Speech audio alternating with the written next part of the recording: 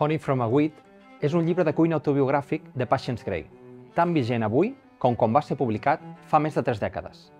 Tot i estar escrit en anglès, crida l'atenció un dels seus capítols amb un títol en català, Cantarem la vida, dedicats als dies que va passar a la casa de Peles Fanosa i de la seva dona, Nicole, al Vendrell.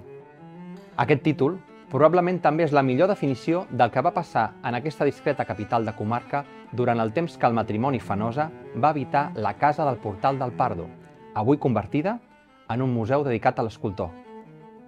Sense estridències i de manera senzilla, van omplir aquells dies amb amistat, vi, llargues converses i postes de sol. Fanosa treballava frenèticament a París, però somiava amb la llum de la Mediterrània. De fet, no va ser l'únic. Artistes intel·lectuals van buscar aquí l'equilibri a la frenètica vida de les grans ciutats i van trobar el seu refugi en un petit poble de carrers empedrats, envoltat de vinyes i oliveres i tocat per la brisa i el sanitre del mar. Durant aquell temps, no era estrany veure Tristan Zara, el pare del dadaisme, assegut en un dels bancs de la Rambla, Joan Perucho menjant al restaurant Pi, avui una perfumeria, o Enric Granados passejant per la platja de Sant Salvador. El 1958, després del gran èxit d'una exposició, Fanosa va decidir comprar una casa.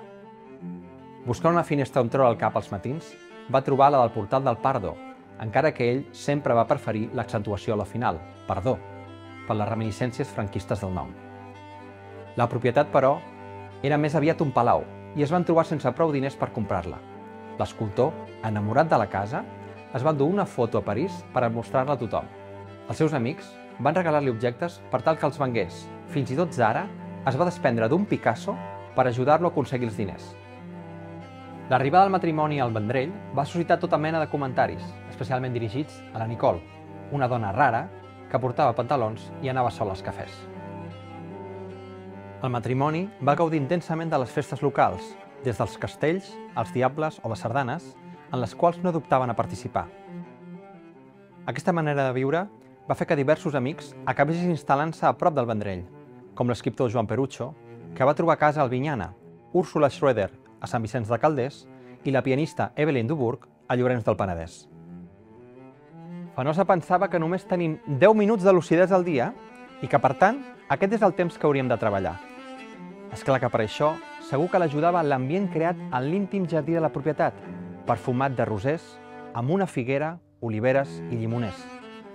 Gràcies a la feina i la insistència de Nicole, avui la casa és un museu que mostra l'obra de l'artista i permet passejar pel jardí que va servir d'inspiració a l'escultor.